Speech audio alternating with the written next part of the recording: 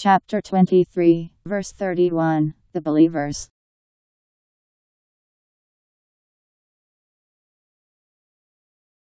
Then, after them, we brought forth another generation,